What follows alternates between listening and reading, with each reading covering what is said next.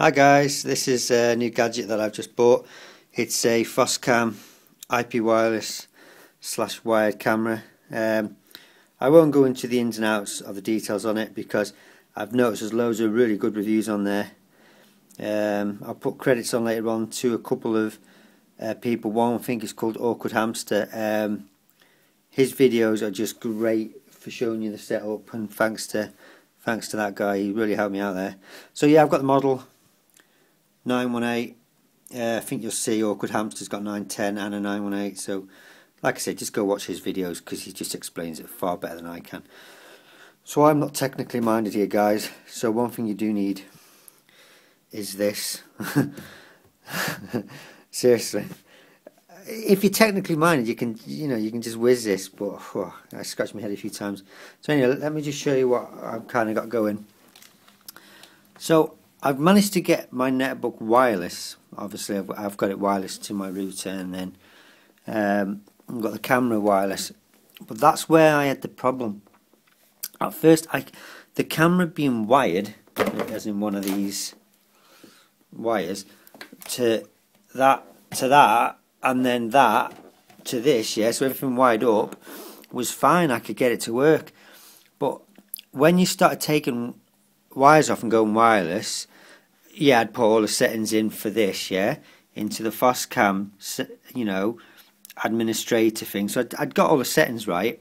It was just dead slow.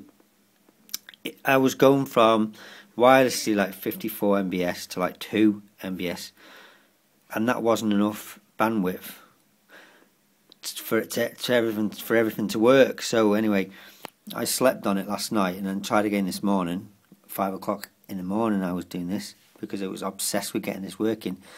And I don't know what I've done, but I've got it working, yeah? So, camera is wireless to the wireless router. Obviously, the PC is wireless. Um, it works okay. And I can do other things as well, because that was my concern. I couldn't, like, then go on YouTube or eBay or whatever, because it would just slow right down. And I was like, oh, what's going on? This is no good. Having this fantastic looking camera but then I can't do other things like go on eBay, YouTube, watch movies, whatever. Anyway, forget all that. I've, I've sorted it out now.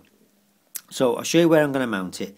Uh, I'm going to go up there so I can view, just basically I want to get a view of the car, view of the door and people knocking at the door, and then our second car which just parks just on the curbway there. So I figure putting it there um, should be fine.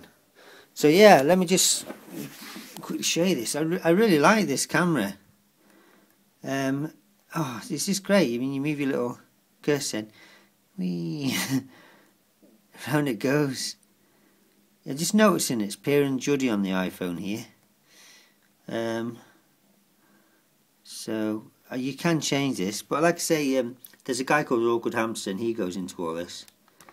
So obviously your frame rate's now going to increase because you lowered your resolution or whatever. I think that's technically right. But okay same with on just just you know watch this guy's video he's re he's really good at it. But yeah so I'll show you where I'm going to mount it and then we can give it a test. Okay, so this is a bracket and obviously the area that I'm wanting to cover is kind of like this. I want to cover um, the pathway, the car, the doorway. So I've just marked that here. The bracket works where um, it swivels round and the Foscam can either sit in different positions on the clamp. So it's, it's pretty good. This is wood for me, so it's no drama getting a good firm secure hold. Okay, so this this is what I've got, and um, this is the final results for the time being. The first thing you notice is that I've got a set of blinds there, and I'm seeing reflection in there, which I'm not particularly happy about. In an ideal world, I'd like the camera mounted outside, but um, do you know what? I don't know if I need it to be clear enough that I'm going to be worried about that.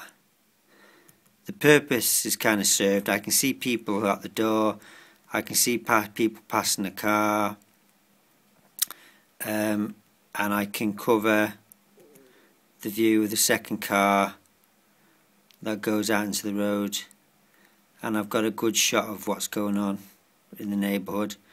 Uh, this is when I start picking up the um, window bay. But I actually don't. Mm, I do well. Obviously, it's not perfect, but I don't mind because I can still see a little bit there. So um, yeah, this is cheap option. I mean, I got this camera off um, eBay. You can you can really pick them up from like thirty pounds. Um, the thing I like as well is you can turn the um, infrared lights on and off. One of the things that I will have a problem with is um, when I turn the lights on at night, you won't pick them up now, I'll get a halo effect. Because the lights are going to be shining on the glass because remember I've got this indoors looking through double glazing. Um, I did a test last night actually and I switched the uh, infrared lights off and actually there was enough kind of moonlight um, to see what I want to see anyway.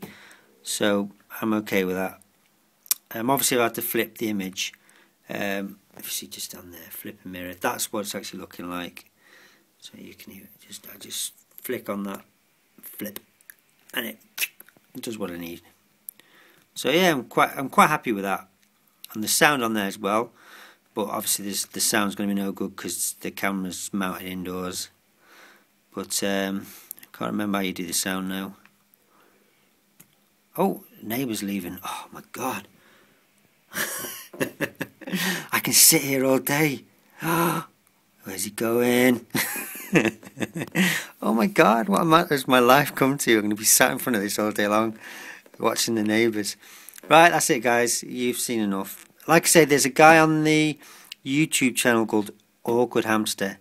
He's great. Just just go watch his videos because he inspired me to um, to do this. Okay, cheers guys. Thanks, bye.